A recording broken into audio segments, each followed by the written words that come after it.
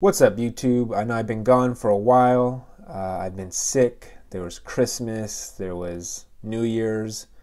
Uh, what other sorry excuses can I make? Um, I'm sick again. I don't know if you can tell in my voice, but I am sick again.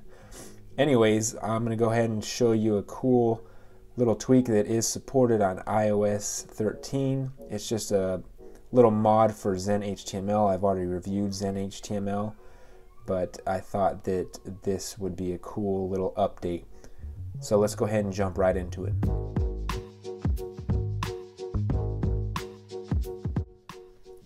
All right, so if we jump over to Xen HTML and we go to home screen or lock screen, select background widgets, we're gonna go ahead and review the Xenim Pro. Basically what this allows you to do is set a custom GIF any GIF that you want as your background for your lock screen or for your home screen. It'll just sit there and animate in a loop. It's a custom GIF, pretty simple, but a pretty awesome tweak. So I'm gonna go ahead and show you guys exactly how to set this up. Excuse me. All right, so I'll go ahead and leave a link down in the description of where you can pick up Xenim Pro.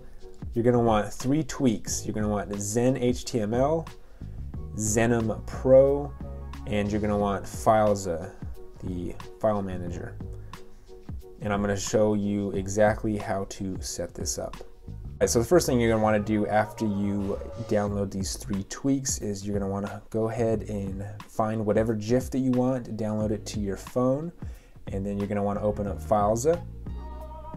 All right, so when you first get Filza File Manager, you're going to want to go ahead and navigate to VAR. You're going to want to scroll down till you see mobile. Then you're going to go to documents. You're going to go to Xenim Pro GIFs. And right here is all these stock ones plus a couple ones that I added. You need to put all your GIFs in here so that you can select them on the Xen HTML interface. And you're to want to open another window down here. If you don't have the Pro version, just wait till this goes away It'll let you open up another window. We're going to navigate to where your photos are located on your camera roll. So it's going to be, you're going to start right here at the backslash. You're going to go through var. You're going to go to mobile. You're going to go to media, DCIM, 100 Apple. All right, these are going to be all the photos on your iPhone the best way to find your GIF that you just downloaded is just type in GIF, put search. Then you can go through and click on all the different GIFs that you have. I would just go ahead and long hold it, push copy, push done, go back over to that window. We're gonna go ahead and hit these three dots down here, push paste. Now it's there. Then what you can do is long hold it again, push rename, go ahead and highlight the name, copy it, cancel, done. Now go all the way over to your settings, go to background widgets, add widget. You're gonna do Xenim Pro. That's gonna be the stock GIF that they have. Go ahead and push the cog. Go ahead and delete this name.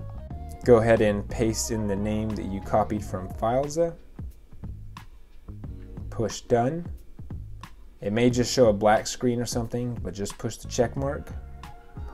And now when I go home, that new GIF is now my background. It's pretty simple, pretty awesome tweak. If you have any questions, go ahead and leave it down in the comment section below. I'll go ahead and try to answer any questions that you have. Uh, Filza you don't want to really mess around with too many things in here. If you don't know what you're doing, just go ahead and follow this tutorial and everything will work properly. Don't delete any files or don't go into any different folders that you shouldn't be going into. Sorry for such a long break between videos. I'm trying to get on a schedule where I'll at least do one video per week. I appreciate your support and I'll catch you guys in the next one.